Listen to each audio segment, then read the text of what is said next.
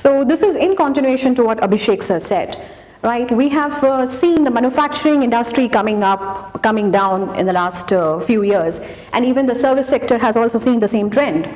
But uh, people have this assumption in their mind that the manufacturing system, the manufacturing industry has gone and seen that slowdown because of demonetization.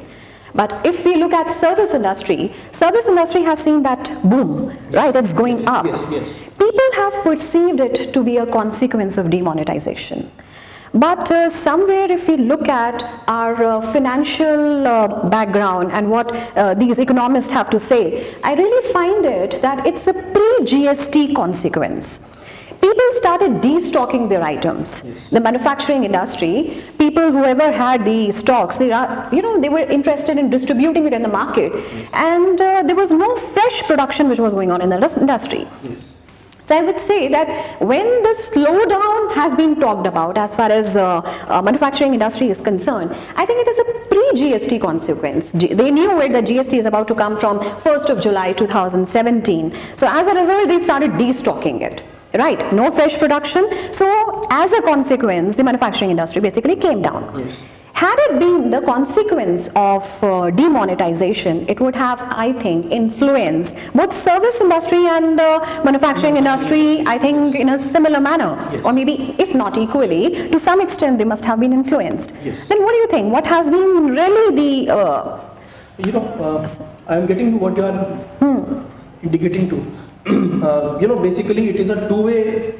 I see this issue as a two-way thing. Hmm. Right. Uh, firstly, the recession or slump in manufacturing sector Hmm. and growth of service sector may partly be because of how we are planning our economy. Right. Uh, In last many years, our shift has been from manufacturing sector to services. To sector. service industry. So therefore, you see that not many manufacturing units are coming up Hmm. in Rajasthan or in other places also, but equally a large number of people are turning entrepreneurs and they're Hmm. starting their own service, are, are getting, are becoming part of service industry. Yes, So yes. this is one of the main reasons that why manufacturing sector has slowed down. Uh, obviously, liquidity plays a very important Very important part role, in yes. Ah. running a manufacturing company. Uh, after demonetization, many entrepreneurs, many industrialists claim that because of less liquidity, uh, this has brought production to a standstill.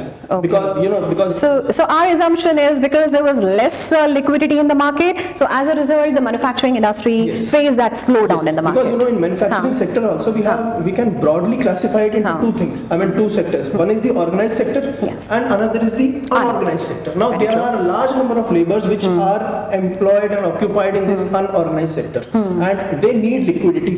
If they are not getting liquidity then Hmm. they are not giving their 100%. The first I mean you know this was the my major concern, my major point. Hmm. But then you know, uh, GST also proved to be a dampener Hmm. in this quarter. You know, I went, I've been reading certain reports of financial institutions and various other reports, Nice. which point out that the growth outlook Hmm. for this quarter has been reduced. But then you know, they are very optimistic about the next quarter. Next quarter. And also, you know, I mean, I would like to add that the goods which we are seeing these days, right now in the market, were manufactured in pre-GST era. But the ones are which we in coming months, in coming weeks and thereafter, uh, they would be manufactured in post GST era. So we would actually see the effect of GST on manufacturing sector only by next quarter.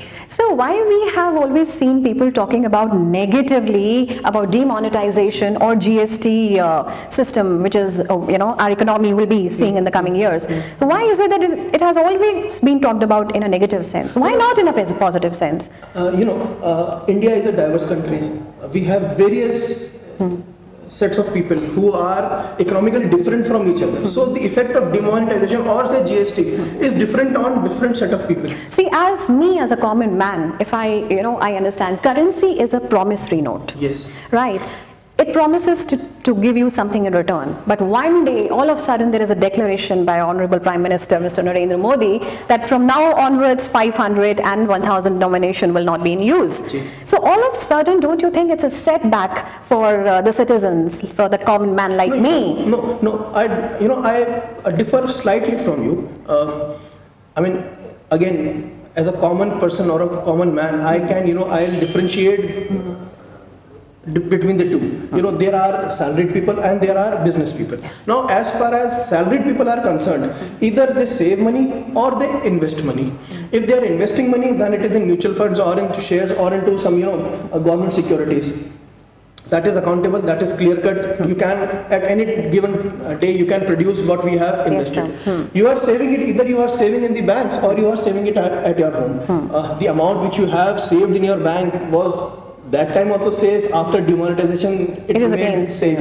Uh, ample time was given to each and every person in the country to deposit whatever they had in their homes. Yes.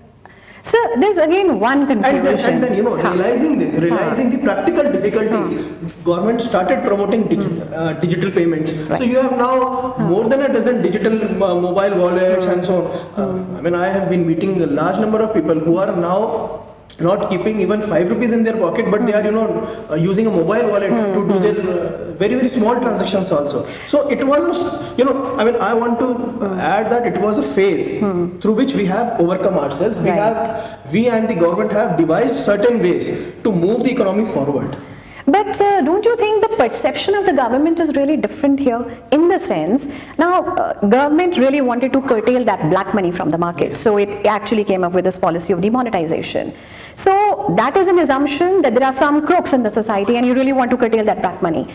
But when you are doing it, each and every person of the society is being affected. So that means our assumption is that everybody, each and every citizen of the country, is a crook here. No. So is that assumption correct on government's part? No, you know, uh, the idea was to identify the black sheeps in the economy, hmm. right? By the process of demonetization, hmm. income tax must have by now been hmm. able to identify those people who are into such practices. Now, I have also filed my returns this year. Hmm. I had no issues, you know, no uh, extra hmm. additional information was hmm. sought from me. Uh, I met my chartered accountant also. He said, okay, you have all the Form 16s and all the relevant documents. You Yes. are you are safe. But then it would surely have an effect on or you know and it would surely have an effect on the people who are not able to produce the documents as to their payments and as to their income. Right, sir.